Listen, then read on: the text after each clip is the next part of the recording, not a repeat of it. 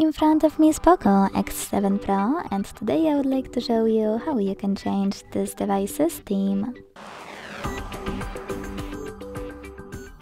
Begin by opening Themes app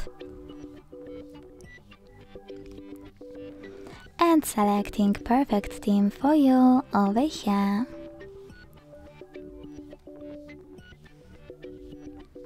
I will go with this one. Now select download.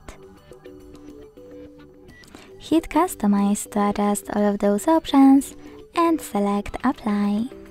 Then wait.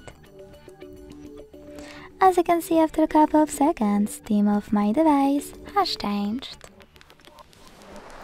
If you wish to go back to the default one, access Themes app again. Hit my account at the bottom right corner. Hit Themes and tap on Poco or Limitless.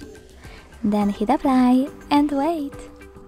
Thanks so much for watching. If you enjoyed this video, smash that like button, comment and subscribe. Bye!